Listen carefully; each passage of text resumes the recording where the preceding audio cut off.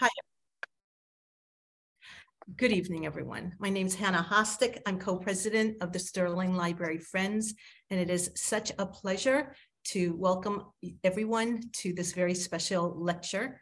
This lecture actually kicks off um, the 10 days of connection for our library.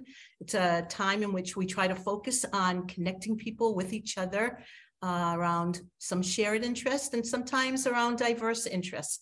We have quite a program, uh, quite a schedule of programs over the next few days. We have swapping stories on Wednesday, tomorrow, in person at 6.30 at the library.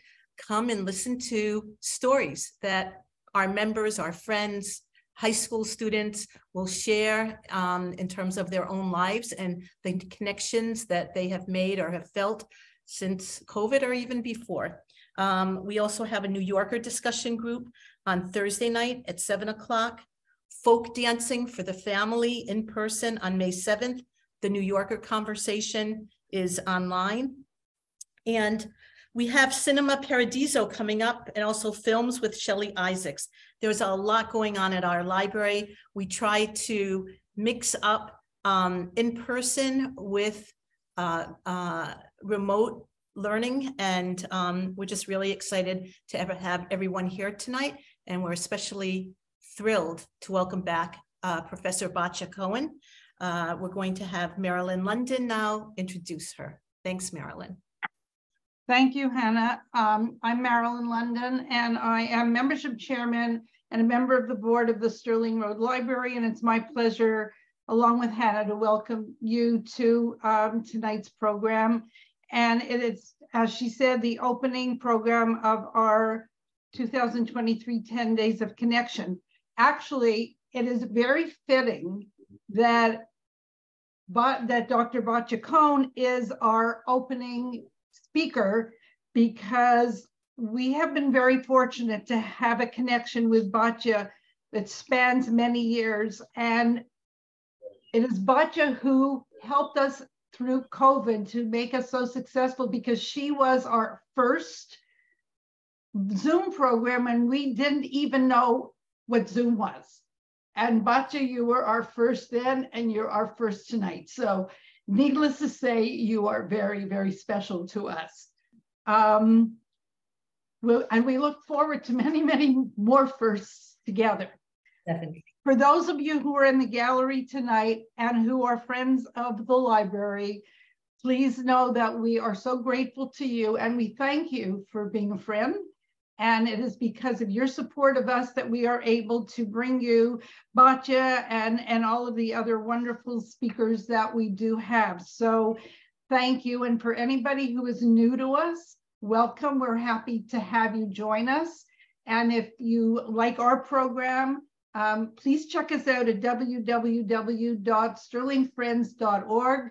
Our membership starts at $10 a year. We are the biggest bargain in town because once you're a member, you know of all of our programs.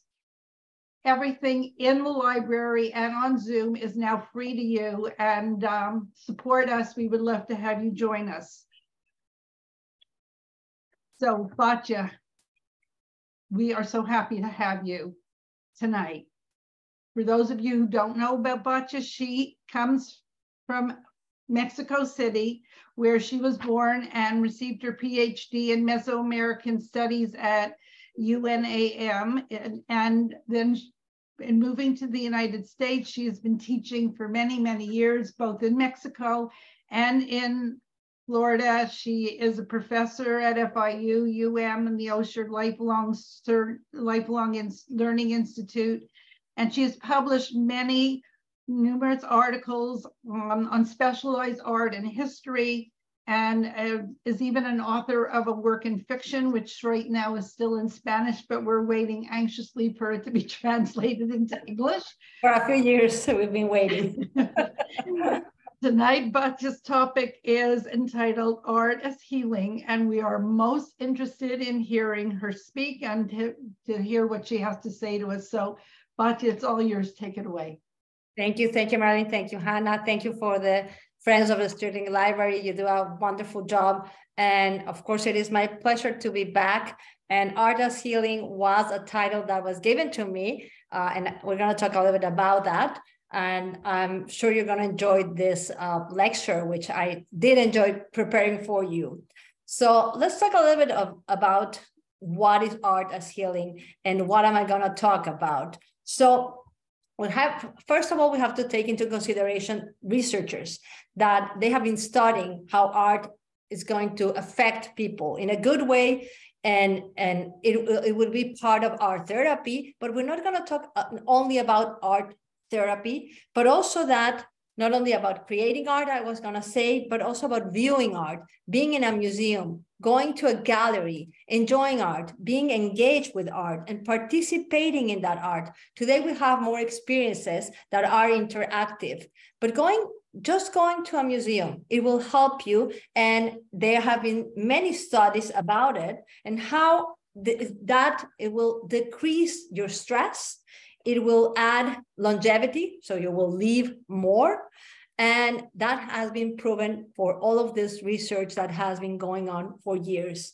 So, for example, if you go to l'Orangerie, which is a beautiful museum in Paris, where you are surrounded by the work of Monet, Claude Monet, where he did this uh, very majestic water lilies, and you are surrounded by this art. You feel this kind of serenity, tranquility. Somehow you are connected with those water lilies, with the reflection on the water, which is augmented. And you can see here the ethereal representation of that reflection. It is really brings tranquility, it brings happiness, it brings joy, and you see the um, amount of um, space that has been given to this area where the paintings are. But on the other hand, when you look at paintings, sometimes like the Impressionists, and this is a painting by Caillebotte, and uh, we feel that we are inside the paintings. Where are we? In a park, in a place full of nature, of trees, of flowers, and you feel good because that is why when we see impressionist artists, we feel that there is a connection with it because of the atmosphere, the light that is reflected, the colors, the vibrant colors that they use. So we engage with the image. And the more, the more we see those images, we are more connected to, uh, with them. Because also, when you think about the Impressionists, because everybody knows about Impressionism, um, but at the, at the time when they presented their art, nobody liked it, nobody connected with it. But for us, this is something very old already. So it's something familiar, and we get that engagement, we get that connection. You feel like you are there. You are in that park, in Parc Monceau in Paris, with Gustave Caillebotte on the side, painting this beautiful landscape. So, of course, Monet, and I have to begin with Monet again, because Monet in Giverny he not only created the paintings, but he created the atmosphere that is going to be his only source of inspiration for many years. And he's going to say about the garden that he was creating this garden for the pleasure of the eye, but also as a motive to paint. So it's going to be that um, enrichness that he feels all the time as he connects and not only connects with what he's looking at, but he tended the flowers and the plants in his garden. Actually, um, at some point, he extended, he expanded the the the the, the, the garden that he had created, and he made this Japanese garden, as you can see the painting here. But also, you can see the photograph of Monet being beside a Japanese bridge that he created, and he just loved it there. And, and the water lilies comes from that inspiration and from that connection to nature, but also that connection with art. So he created the, this, um, this garden for him. He didn't create it for us to enjoy today because today is a museum and you can or just stroll around the, that uh, garden. But also you can connect with what he was looking at. Those water lilies, the reflection of, of the of the sun or even the same flowers on the water, etc. But on the other hand, I'd like to tell you a little bit about what has been researched. And they say that little neurons in your head, they focus into familiar forms, into familiar patterns, into uh, shapes that you understand and you can um, be familiar with them. So they would soothe you. The more familiar they become, they, the more tranquility you're gonna feel. So Rothko here, and he was really very interested in creating emotions, having that engagement. So he began to develop what he called color field paintings. You have him here in front of one of those large creations that he made. And art looks, uh, when you're looking at art and you're really engaging with art, it puts your brain into motion, into working, into thinking, into feeling, even if you don't like it, you have that connection because there is something going on.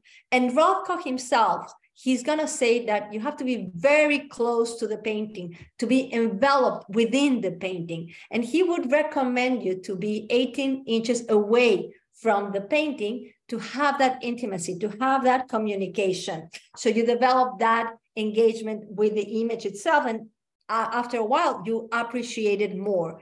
And the colors are going to embrace you somehow if you have that proximity with art. There's this kind of meditation when you are in front of a painting done by Rothko. So art can be very subjective, as you all know. And because you have different emotions, you have different backgrounds, you have different stories behind, of course, and you have that connection or non-connection with different kinds of art but it can be also an individual experience. At the same time, it can also be a collective experience, as we're going to see. So we have Rothko studying, and his goal is really to have this sense of atmospheric depth. And he's going to say about it often towards nightfall, there's a feeling in the air of mystery, threat, frustration, all of this at once. I would like my painting to have the quality of such moments so he's not painting a landscape, he's not painting a flower, he's not painting a portrait, he's using color as the communication tool for you to engage with it. And not even, we don't even have a title to be engaged. But today we have other kind of art that we can engage on. So we have immersive experiences like this one. And let me show you.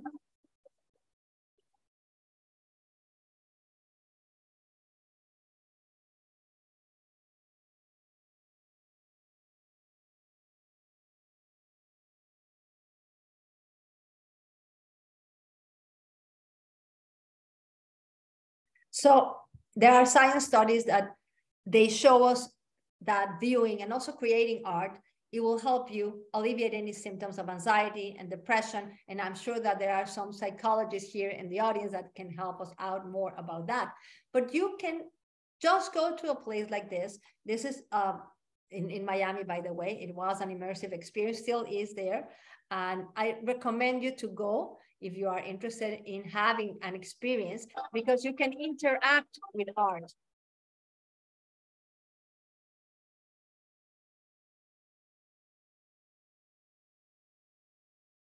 So as you walk, you move the lines.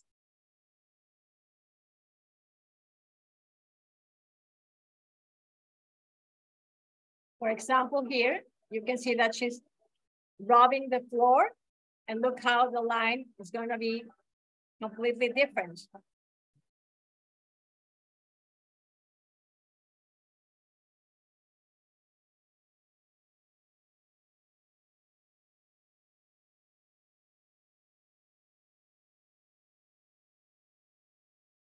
So any any music, not only art that is visual, also you can have experiences like this one, music, doodling, pottery, any of, of those kind of things that you can engage with art and it's gonna be interactive. Then Superblue, exactly. That's the one that is, it is Superblue. But I, am not so sure if this one in particular is still going on, uh, but there's others as well.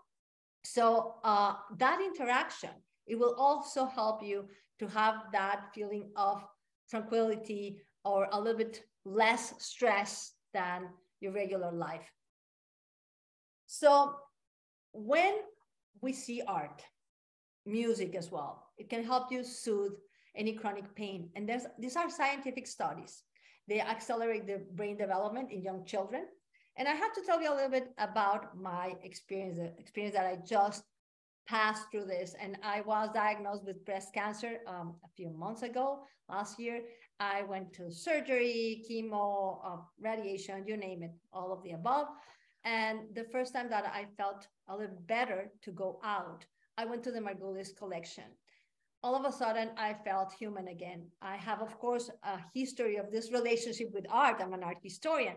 But just by engaging in something that was a little bit, you know, out of the ordinary, something that is sometimes colorful or have textures, it helped me at some point feel connected and feel happy again.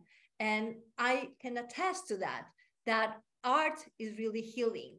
So there is many um, research papers. There's a, a, a research um, group in London that they had around 50 people, uh, uh, I'm sorry, like a thousand more than, thousand people that uh, were 50 and older.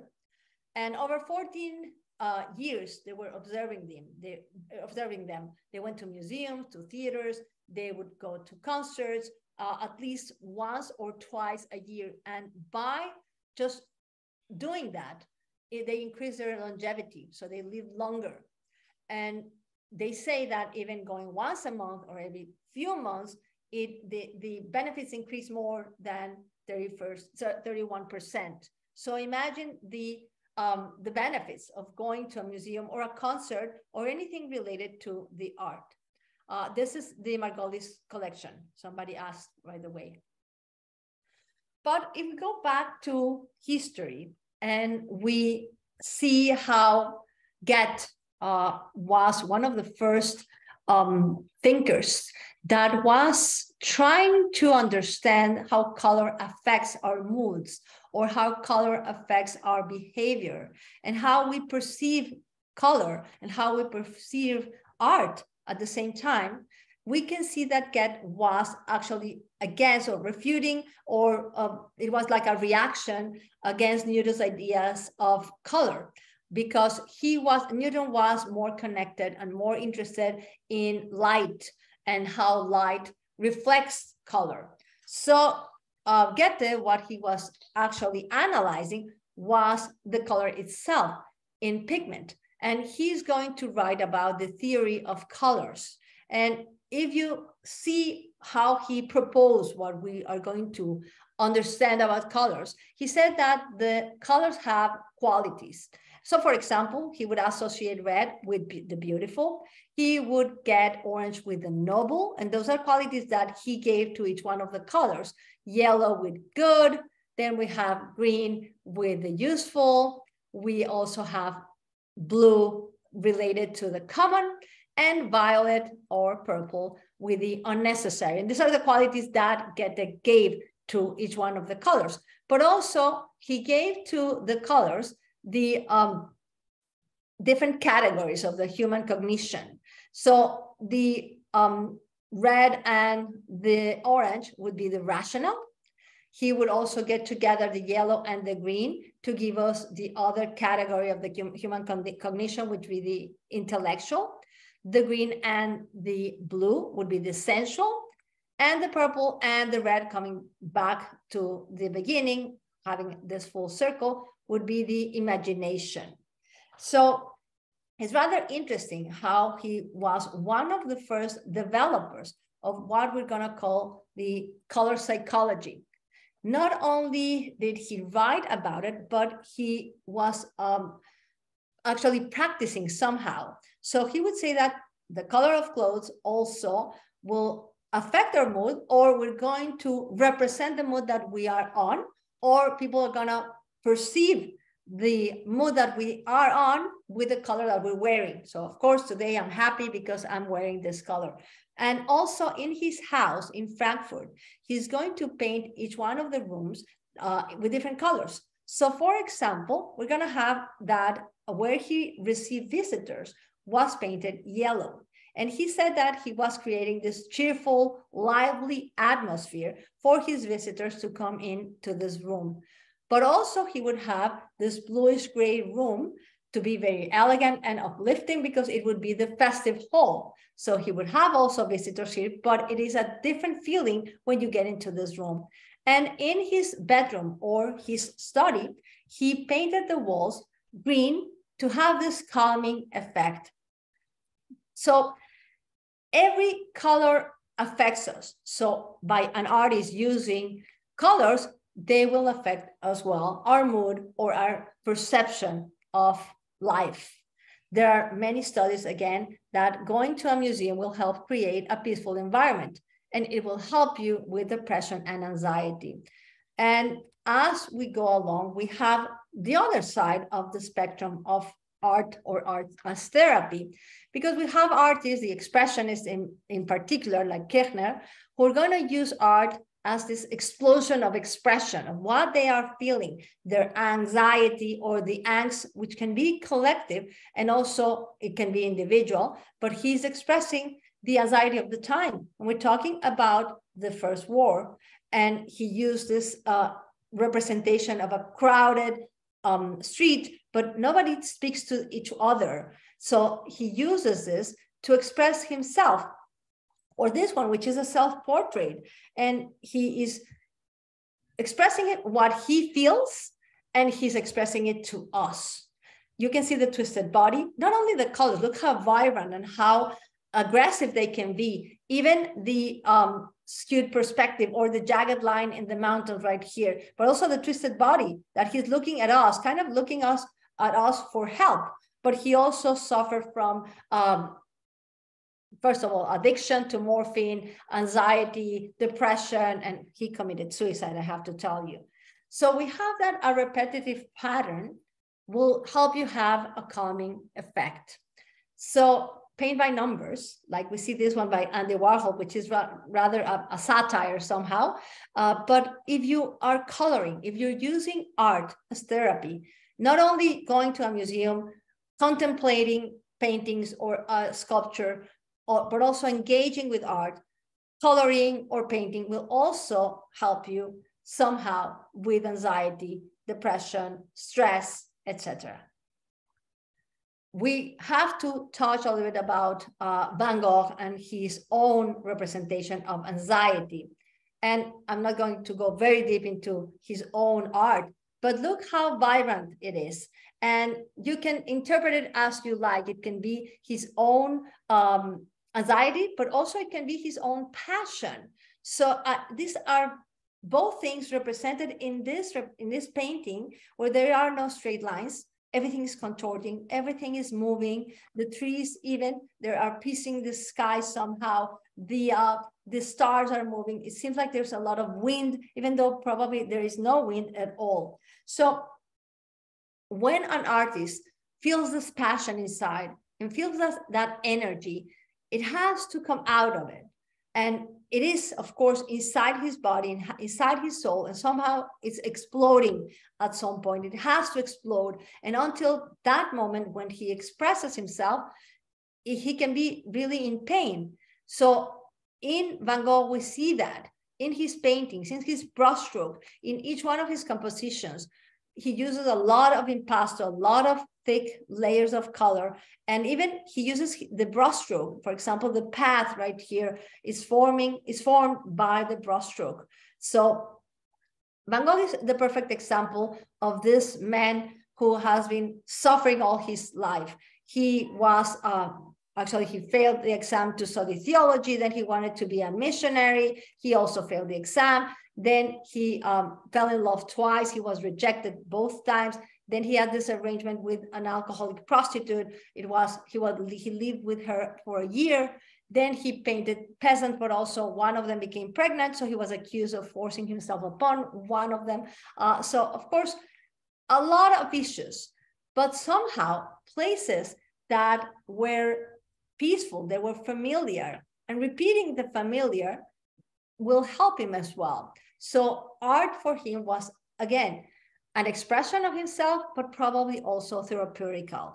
So the bedroom, which we see right here, one of them, he repeated it three times. And we have his own bedroom with no portraits of, well, we'd see portraits in the wall, but I mean, with no people inside the bedroom, but the repetition of a familiar place, probably it helped him because he painted this one first and, and actually he is painting it at the moment when he is expecting his good friend um, Gauguin to come to Arles.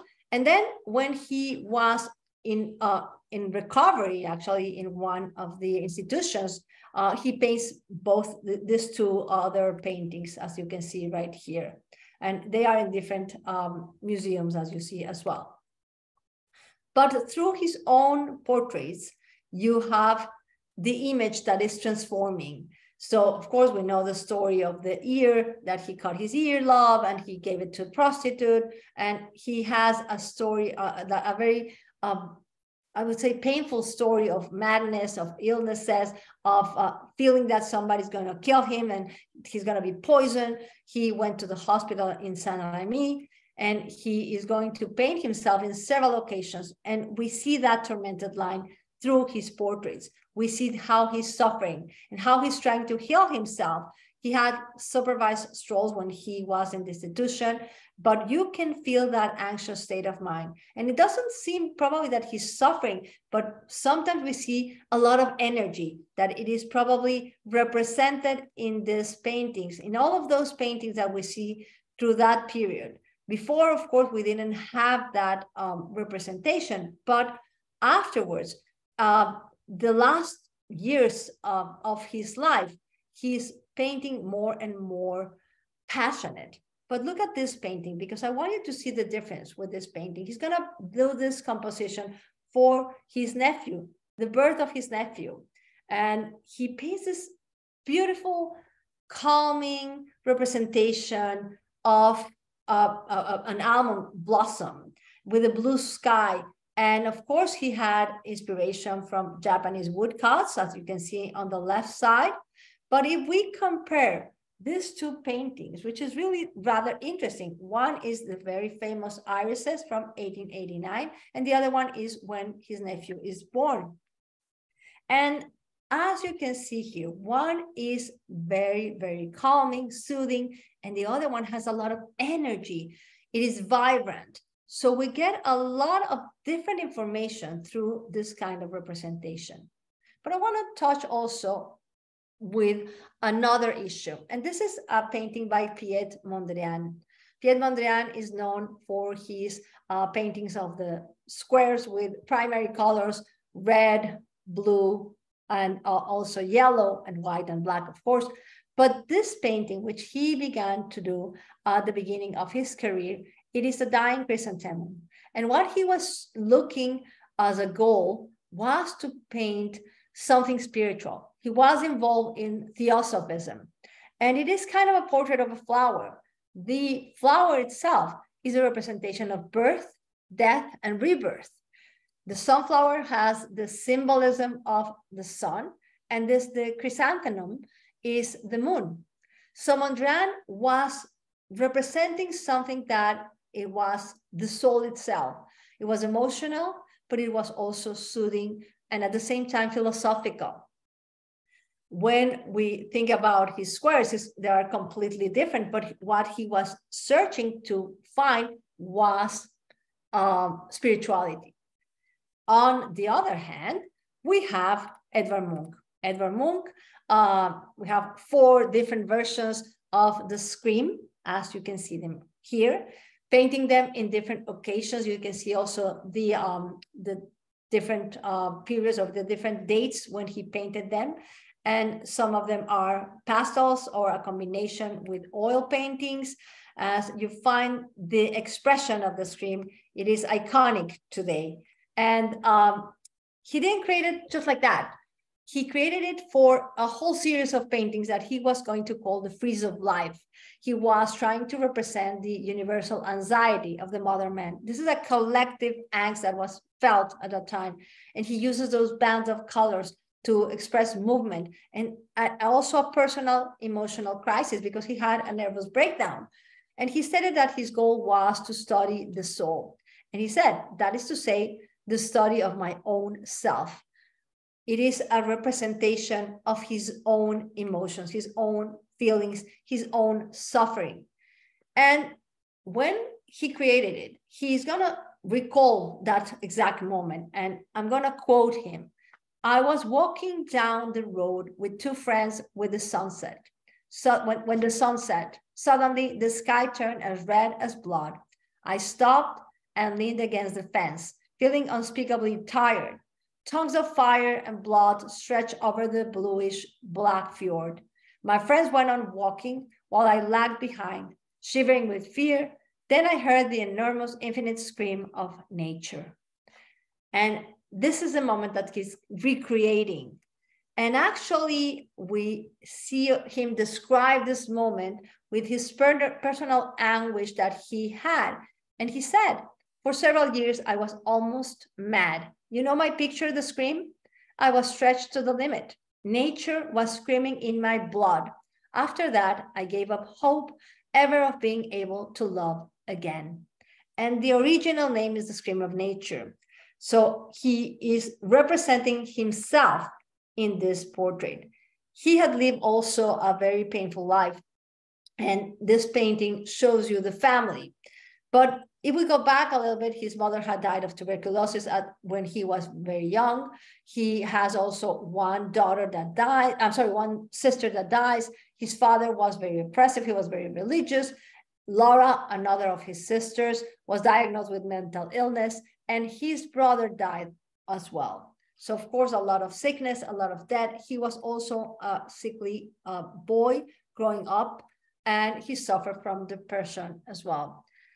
In this painting that he called meta, metabol, metabolism, it's Adam and Eve actually, as you can see here.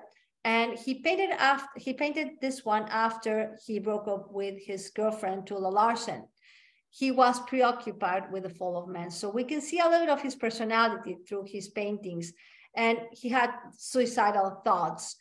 And he's going to say that, uh, that he lived with dead my mother, my sister, my grandfather, my father. And he will always hear, kill yourself, and then it's over. Why live? So, all of that we can sense through his paintings. But at the same time, he's representing life and death because he was also interested in science, in biology. And all of a sudden, there's the healing aspect of art because life begins again. And this is the New Jerusalem, regeneration, rebirth, as he is representing in the, and this is part of the Frieze of Life, the whole series that he was doing. But on the other hand, he suffered a lot of depression, anxiety. He was also an addict of alcohol, opium, and he wrote later that my condition was verging on madness. I was touch and go. He felt hallucinations, persecution, so he was feeling paranoia.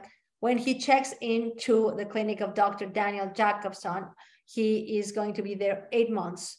And he's going to bring his own uh, camera.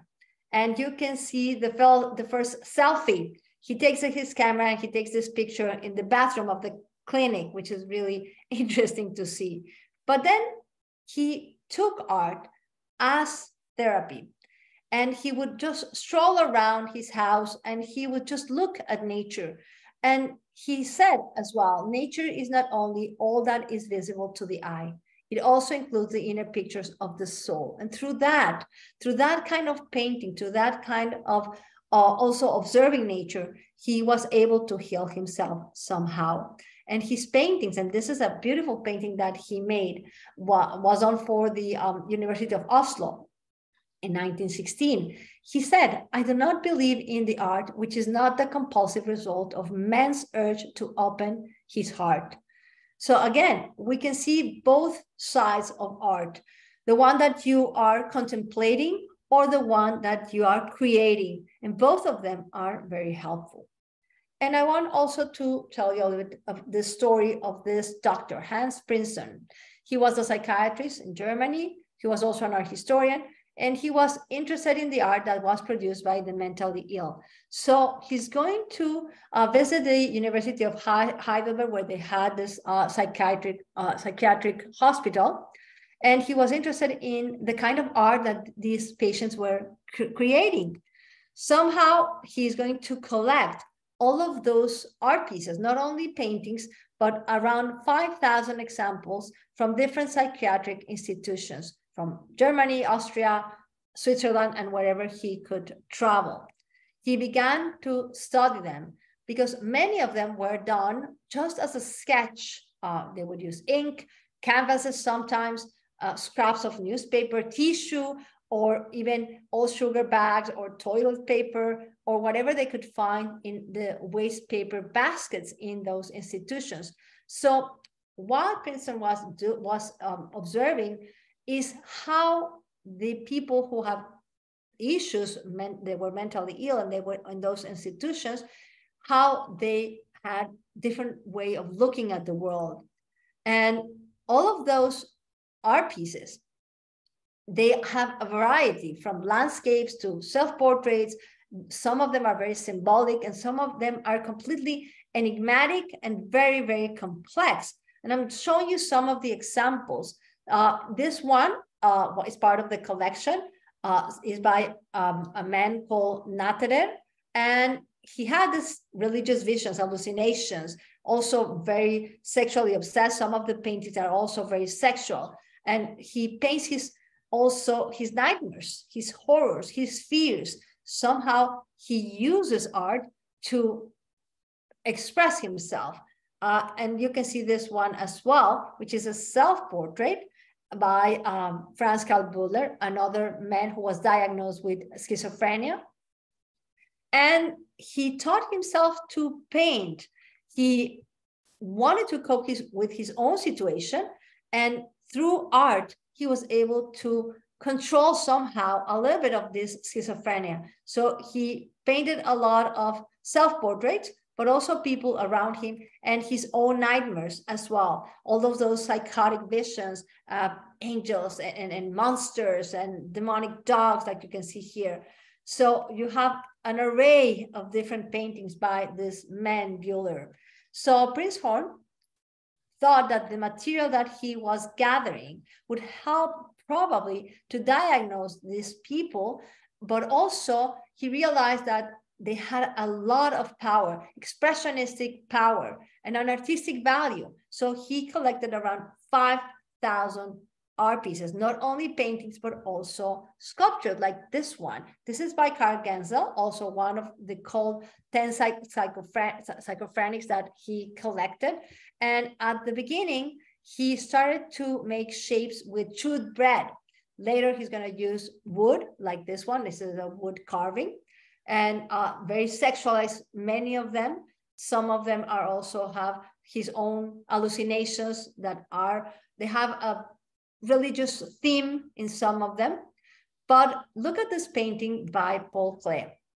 Because of the German expressionists, the French surrealists, and Paul Klee in particular, they recognize the facility of these people that they could abstract the human figure and by observing the collection that uh, Prinzhorn had, he was inspired to do a simplistic, abstract kind of art that we are we know about Paul Klee. Not only that, but also many other avant-garde artists were inspired by this collection. Uh, Hugo Ball, one of the founders of the Dada movement, he said that uh, Prinzhorn's book representing nothing else than the turning point of two epochs. And Hans Arp, also one of the Dada members, later he's going to be uh, a surrealist. He said that uh, it was very important art for them. Art, I'm sorry, the art was very important for them because it repelled by the slaughterhouses of the World War. So art for them is a way to escape the horrors. But this is uh, one of the paintings collected by uh, Prinzhorn. They wanted to understand the madness of the world. So the artists are going to explore also the world of the mentally ill.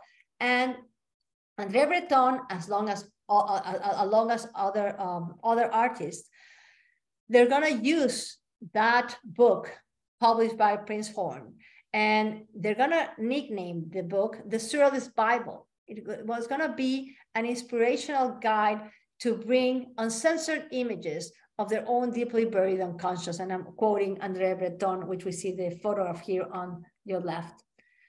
Another surrealist artist, Max Ernst, who was studying at the University of Bonn. He studied philosophy, art history, literature, psychology, and psychiatry. He visited asylums and he was really fascinated with the artwork of the mentally ill patients. He also knew about the collection of Prinzhorn and he's going to be inspired by that. So surrealism has a bit of that. He did this painting called Oedipus Rex, and of course comes from uh, the study of the brain by uh, Freud and the uh, Oedipus complex. So there's a lot of sexual undercurrents here, the gender roles that you can find in this horn uh, kind of, of head that we see here, this bird with horns.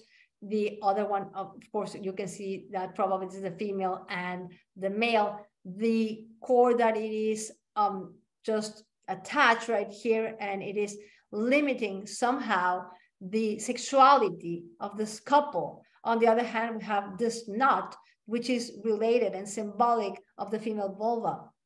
And not only that, it is pierced, uh, the, the, the, the fingers right here are pierced with this uh, kind of, of, of, instrument and the knot shell is pierced with the arrow. And he was inspired by this French magazine called La Nature. And so it's the same idea, but of course, in his own world. So Max Ernst and Dali as well, they are going to be inspired by the subconscious and by the expression of what there is in their mind, the um, horrors or the nightmares of the subconscious. Artists like Jean de Dubuffet are going to be also inspired by the collection made by Prinzhorn, because it is going to be huge by this new generation of artists. And he's going to create what is called art brut, the raw art, artists that are just expressing and some, somehow they teach themselves to paint just to express their inner souls. And I have to say a little bit about Yayoi Kusama because Yayoi Kusama, she uses art as therapy. She still does. And she's gonna say, forget yourself, become one with eternity, become part of your own environment she still uses art. But when she was um, a small girl, her mother was physically abusive. She had hallucinations since childhood. Somehow she had this curtains of, of, of, of dots, and she describes that she used to see everything with this transparent curtain of dots. And probably this is, this is her mother, probably. Uh, this is a painting that she, or a drawing that she made when she was 10 years old. And she describes that the entire universe was filled with patterns. Myself was eliminated, and I had returned and been reduced to the infinity of eternal time and the absolute space. Dots, dots, and dots. Accumulations, she called them. And she began with a very intimate, small scale. But again, through repetition, she was able to control somehow her anxiety. And also, she was painting what she saw. So there's a sense of vastness in some of her paintings. She created this greater depth of my inner heart, as she is going to say. The accumulation of repeated marks, as she's going to describe, she is going to translate the hallucinations and the obsessional visions that she had somehow into her art. And I'm showing you some of her, her paintings because she said, through art, I was also able to enter into normal society. But up until then, I was haunted by suicidal impulses. So she was healed through art. She moved to New York in 1958. She was part of the pop art movement. She kept on painting from her hallucinations, the infinity nets, as she called them as well. So there's this idea of a monotonous stroke, and I'm going to show you exactly how she made those kind of infinity nets. So first of all, she only moves the wrists. It's not like this gestural movement like uh, Pollock, Jackson Pollock, or the artists that are moving everything while they are painting. It's only the movement of the wrist. It is very therapeutic. So you can lose yourself in this activity just doing that. over and over, repeating it, repeating it.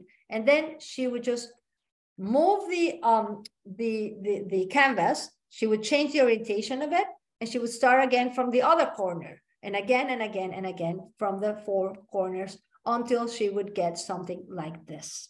So these are her infinity nets. But by understanding how she creates them, we understand that it is just a very small movement of the wrist, how she creates those infinity nets. She covered everything with dots, but she was hospitalized regularly from overwork, from hallucinations, from depression, from suicidal thoughts, and she kept on going until she checked herself into the hospital for the mentally ill in Tokyo, where she still lives. And by choice, she lives there. She has her studio very, very close to uh, the hospital where she walks every day and she still works. And for her, art was really a healing process. She's gonna say, if it were not for art, I would have killed myself a long time ago. So we go back to Giverny when Monet bought the house, first of all, then he's the house is right here in the corner. Then he's gonna have this parcel right here with his garden, and then he's going to expand it and he's gonna create the Japanese garden, which is where you see the lake right here. And it's gonna be his source of inspiration, but also his work because he tended by himself to the flowers, to the plants that he had around him. So it's not only the way that he wanted to paint, but he was also surrounding himself with beautiful things. So it was also where he could meditate, where he would be calm and tranquil and also inspired. He's going to make this big, as they, they, they call it the grand decoration, which he's going to expand his studio, as you find here in this photograph. In the Palm Museum, somebody's saying there is an immense exhibition of Yayoi Kusama. Yes, there is an immersive um, exhibition of Yayoi Kusama. You can go to those to the uh, one of the um, mirror infinity rooms. In uh, if you are interested to go to the um, to the PAM, um, it is really a very interesting experience because it is immersive, as, as Tony is saying, but also you have this interaction with her art. So when we are talking about his water lilies, he created many of them. For example, this one, this is one panel, just the left panel of, of a series of three. So not only the ones that are in L'Orangerie, but many others. And uh, Monet was really creating something very soothing, very beautiful at the same time you immerse yourself in his brushstroke. And if you go and, and you see one of them and you see them close enough, it is more almost an abstract representation because here I'm showing you an example of how he's going to recreate that reflection and also representing the water lilies. And it looks almost like an abstraction of it, an abstract paintings. So our contemplation is very important for our well-being. And not only in a museum or a gallery, you can buy a poster and have it in your house and have that feeling also of tranquility. And um, yes, in the Rubell Museum, there's another. Yes, you're right. It was, I'm not so sure if they opened it again. It was, there were two of them, by the way, two Kusamas at the uh, Rubell, uh, Rubell um, Museum. Uh, but I'm not so sure they are open again. They you, they closed them I don't know during during the uh, the pandemic, but I'm sure they will open them, or probably they're open already. So I was going to say I was saying about the um the contemplation of art, and if you get close enough to the paintings by Monet, they are about color, they are about texture, they are also movement, and you can be in front of a painting that you don't like, that you actually hate, but also that is healing. Why do I say that? Because it doesn't have to be beautiful. It has to move something in you. Your brain starts working. You're not just laying there uh, in, in your house doing nothing. You are doing something with your brain. There are a lot of inter- there's a lot of interaction between the art piece and yourself So your soul somehow connects with art. But I'm saying not only go to a museum and have your selfie taken there because you're already in the museum and let the world know that you are also a museum goer. No, sit down, engage yourself with art. And that is really um, the way that you heal yourself. Monet knew how to represent the reflection of sunlight, the um, feeling that you get from a painting that is very big and you feel surrounded by it. So it's not only Monet, but I want to, of course, because many people know about Monet and also about the water lilies. And he said about this, I have painted these canvases as monks of former times illuminated their missals. So imagine this monk in a monastery uh, far away from civilization, just painting, illuminating a manuscript for the love of God. This is also a meditative form of healing. And Monet said, they don't owe anything to anything else than the collaboration of loneliness and silence to a fervent, exclusive attention that borders on hypnosis. And if you think about that communication, that connection with art, it helps you move to a different world, be in another place, and not probably with so much stress of our daily routines, and probably just think about other things. The Grand Decoration by Monet was placed in l'Orangerie in Paris. And he said about this, I was once briefly tempted to use water lilies as a sole decorative theme in a room. Along the walls, enveloping them in the seamlessness of its motif. This was to have created the illusion of an endless whole of water without horizon or shore. Here, Nares thought from overwork could have relaxed, lulled by the result, I'm sorry, by the restful sight of those still waters and to whoever lived there. the room would have offered a refuge for a peaceful meditation at the center of a flowering aquarium excuse me.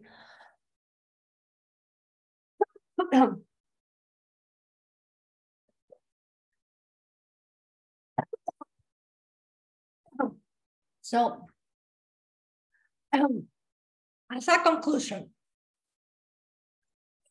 we can use art as therapy, as um, Kusama did. I'm sorry.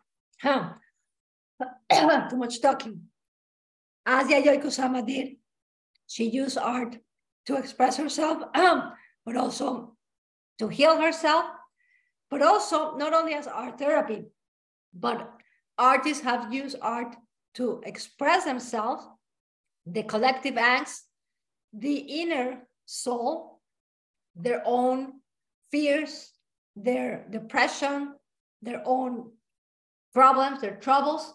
It has been used in psychiatric institutions as well to diagnose to treat people. And on the other hand, we can use art for calming effects by just appreciating it. So you have both worlds, just contemplating or creating. Thank you very much, everyone. I'm gonna stop my share and let me just open it up so people can um, ask questions. Batia, that was fascinating. Oh, you. Absolutely fascinating. You took the topic and you took it to the hilt. Hannah and I were texting and how amazing this topic went. You were fabulous. Thank you, Mary. Questions, anybody? Thank you very much. Mm, thank you, everyone. Thank you very much your for you. hand. Yeah, I'm, I'm seeing all the comments. Beautiful. Thank you. Questions, please. It made me remember a lot of the classes that we had together. Of course, Sarah. of course, of course. Um, It's a beautiful, beautiful, beautiful expression, and the the healing is realistically incredible. and you know about that, Sam. As I said at the beginning, I know people here that are psychiatrists, psychologists, and they know uh, a lot about that. and I'm seeing all the comments. Beautiful. Thank you. Comments are fabulous. Uh, Thank you. Thank you. I very have a question for you. Go ahead. You said, you said something about there are interactive museums in Miami? Oh, yeah. Yes, yes. Where? Well, that one is in, uh, Ap- what was the name of Apalaca or Paloca? oh my God. The Superblue. Superblue. Yeah, Superblue is in front of the Rubell Museum, by the way. Super Blue is an interactive, uh, there's a lot of exhibitions and they're all always changing. That one, I think is still on, that one, but that is uh, one that actually you play with it. And if you rub the wall or the floor, it changes. Oh, Line moves, there are flowers coming up. it's really very interesting. thank you. Thank you. Oh, thank you, everyone. I, I still Thank you. the, the wonderful, um, yeah, a la pata. Thank you, Anna. I just, I said apaloca, it was a la pata. Uh, thank you, everyone. Uh, Linda and Barry have questions for you about you, so. Uh, go ahead. Who's first? I don't have a question. I don't know if you can see this. Can you, can you or Larry. not? It's Larry. Not really. It's a shame because this was at the Van Gogh exhibit um, in Houston, and it was a painting I never saw. I just loved it, and that's why I brought it home uh, in my phone because he did this while he was in the hospital, and you were saying that, um, you know, he started to do very passive soothing. This is Van Gogh's passive soothing things. Um, I, I'm really sorry you can't see it. I'm trying so Oh, hard. yeah, well, you can send it to me later. Okay. For the rest of the people, I don't know which one it is, but, um, yeah, but, uh, but It's you a know. garden. It's a garden. garden. Well, Linda is, is doing exactly that. So she has an image that she loves and she has it on her phone or she, or she brought it back from, uh, or, or, or you can buy a poster and have, have it beside you. Gorgeous. So it will really, it's, it's, it's helpful. Yeah. Thank you, Linda. I'm So sorry I can't share it. Uh, Yeah, it's- and it's Barry very- has a question. Barry? very. Yes, hi. Uh, Well, great to just get to see you and say hello. Uh, I did send you actually just now a, a Van Gogh that I saw in the Buenos Aires um, museum, and I can't remember whether I sent that to the group uh, that you were in, but I, I can't remember the name of the town, but I went to the immersive Van Gogh in, in the south of France, in Provence, that- because you sent me there. Um, I can't remember, it, it was, it was, I think it's the original interactives, and it was in a giant um, quarry. So there were these huge rooms the size of soccer fields and multiple, and you just walked from room to room with these, you know, shaved stone. It was it was really quite spectacular. That show came here, that Van Gogh show, but it was really amazing there. So anyway, I I did send you this picture that, of a Van Gogh that I had never seen before. It was a winning. Yeah, I, I- think I remember the one that you're talking about. yeah, I sent it to you again, and and um, anyway, I- lovely to see you. You knew I was going to make the excuse to say Thank hello. Thank you, thank you. Uh, and uh, okay. But if, even even what Barry's saying, even if you're not looking at the art itself and you're going to those experiences, the Van Gogh experience or whatever, is also very, you know, it's very soothing. It's really a, a place to be, and um, you're surrounded by things that you love, that you like, and that you enjoy, and that's healing. Yeah. glad you're back in town. Ah, thank you. There's a question from Tiffany, but Tiffany, you have to unmute. I have uh, also Oh. something to say. All right, Hello. One minute. Stephanie. had a Tiffany and hand. then Vicky. Mhm. Yes, I was wondering if you would speak more about the experience of looking at a art piece that you dislike. I think you said hate, even if you hate it. Um, It's because, That- yeah, what I say is that, of course, not when you're going through a crisis. I, I will, that that's my experience. If you're going through a crisis, just choose whatever you like. But if you're not, it's healing because it helps you. Um, your brain connects somehow and it's busy thinking or feeling.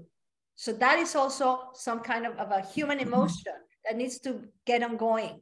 So that connection is important. So sometimes I and and if you are if you are feeling that you're an outsider or uh, probably you have a, a, a a depression and you are isolated and you go back and you go to a museum and you see something that you really hate, it will also connect somehow. You feel human. It's not probably it's not pleasing, but the, the brain connects. And that is a study that he, uh, they, they've done that the, the, the motion that, or, or how the brain gets in motion through art, even if you hate it, it's a good thing because it helps you think and feel. So that is, oh, unmute yourself if you want to say something again. Oh, that was brilliant. Thank you so much. Thank you. Uh, I think Vicky was going to say something. Yes, I wanted to say something. I wrote it in the chat, but not everyone looks at the chat. And when you just begin your speech or your class, I wrote that I saw an exhibition that was marvelous because it was Monet and Rothko in the same room. And uh, it was marvelous because both of them uh, want, want us to be in a, a conscience about color and without looking everyone every uh, somewhere else.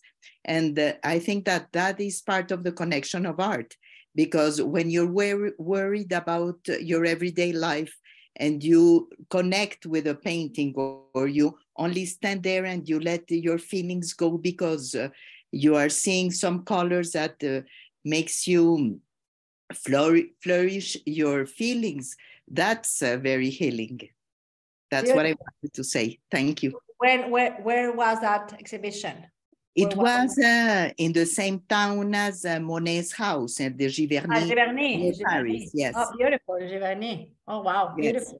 Yes, yes it was wonderful and, and really and, and amazing. Of course, I didn't know of that exhibition, but I thought of that because what you're saying is exactly that. L'Orangerie embraces you, for example, the water. Exactly. Rothko also uh -huh. embraces you. It's amazing, beautiful, beautiful. Thank you. Thank you for sharing that. Anyone else? Okay. I want to add something, which is that yeah, yeah. Um, not only is um, observing art or immersing yourself in art healing and doing art, but I think that an evening like this, where you see people engaged in learning about art from someone who's really gone through a lot in the past few months and is so optimistic and positive about um, how art can help heal us. And I think that community. Um, I mean, what a great combination art and community, and um, really connecting with each other just through a discussion about art. So I really want to thank you uh, during these 10 days of connection for your helping us to connect to each other also.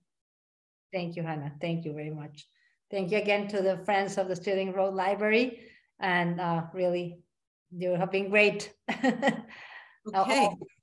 uh, Batia, and the good news is that tonight, uh, Batia committed, well, I don't want to use the word committed, but has um, agreed to um, uh, give us uh, to to be here during the summer, giving us um, uh, another series on art, and we'll uh, keep you posted. So thank you all. Have a good evening. Thank you, Marilyn. Thank you, Batia. Thank you. And uh, we hope to thank see you, you. tonight in person at um, our Swapping Stories event. Good night. Good night. Thank you. Thank Thank you, you, everyone. Batia. Thank you.